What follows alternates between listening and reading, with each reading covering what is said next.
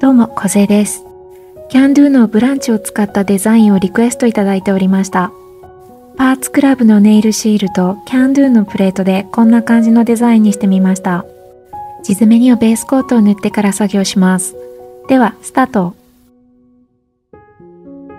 ベースコートの未硬化ジェルを拭き取った後の親指。100均の二重テープを使います。左右でカーブが違うので調整しながら使います。接着力がちょうどよくって伸縮性もいい感じなのでお気に入りで使っています。真ん中に置いてしっかりくっつけます。そして片方くっつけてもう片方くっつけます。左右対称になっていなかったらちょっと調整してください。キャンドゥのブランチ。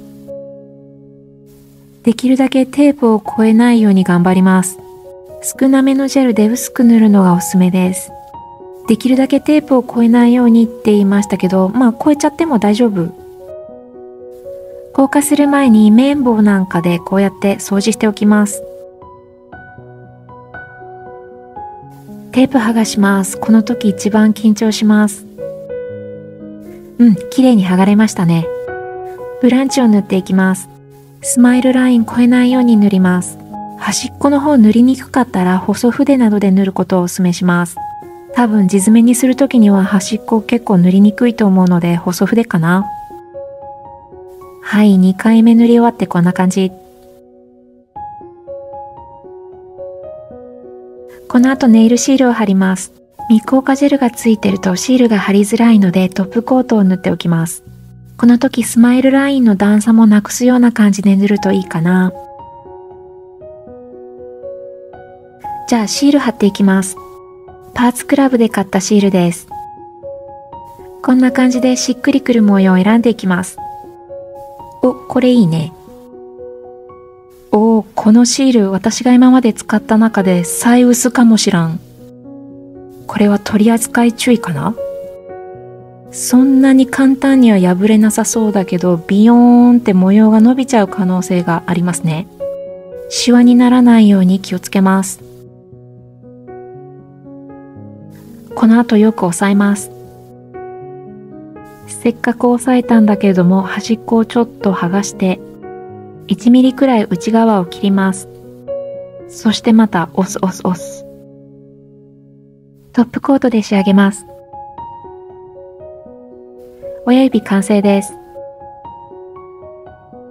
人差し指、薬指、小指にも同じようにフレンチしていきます。人差し指は浅めのフレンチネイルにしました。薬指は深めのフレンチネイルにします。違いはこんな感じ。で、小指は浅めにしました。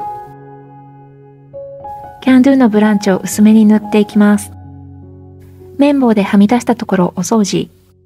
他の指も同じようにやっていきます。テープ剥がしていく。綺麗に剥がれると快感。剥がすところばかりお届けします。自己満です。2回目ブランチ塗っていきます。やっぱ端っこは細筆がいいね。中指以外フレンチ完了。中指はフレンチではなくてブランチを全面に塗ります。ブランチ2回塗りました。全部の指にノンワイプトップコート塗ります。人差し指と小指はもうこれで終了です。中指と薬指、シール貼っていきます。こっちかな？こっちかな？いや、こっちにする。このシールは面積が大きいので、貼るのにさらに緊張しますね。これで貼ろっかなと思ったらちょっと貼りづらいので、持ち方変えます。ネイルホイル貼るときみたいな感じですね。真ん中縦まず貼って、外側に向かって押していく感じ。ああ、やっぱり空気入ったか。空気入ってシワになったところは、このようにしてごまかします。ごまかせてるんかな最後はいつものおソース。はみ出たところの処理します。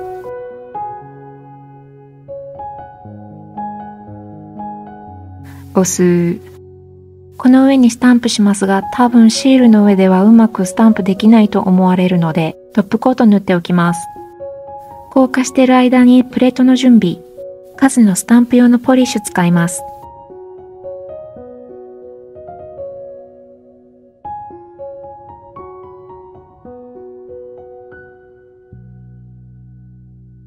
セリアのスタンパーをダイソーのスタンプ台に載せてます。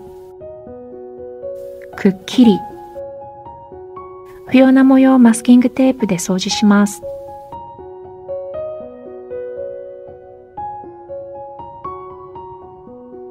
実はこの色のポリッシュに至るまでに金色のポリッシュでもスタンプしてみたんですが、いまいちだったんですよね。でもこの色めっちゃいい。正解。トップコートで仕上げます。中指完成です。次は薬指にシール貼ります。お、大きさといいデザインといい、これいいですね。皆さんはシールを台紙から剥がすとき、台紙を曲げて取る派ですか？お、これはぴったり収まりそうですよ。切る手間が省けた、イエイ。まずツイーザーで貼って、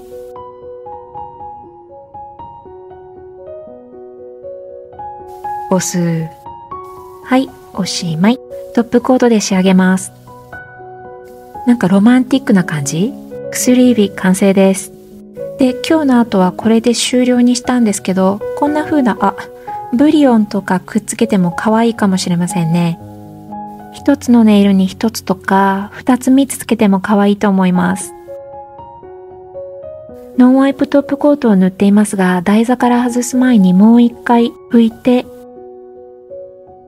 で、ひっくり返してこの反対側からも硬化します。念のため、アレルギー対策です。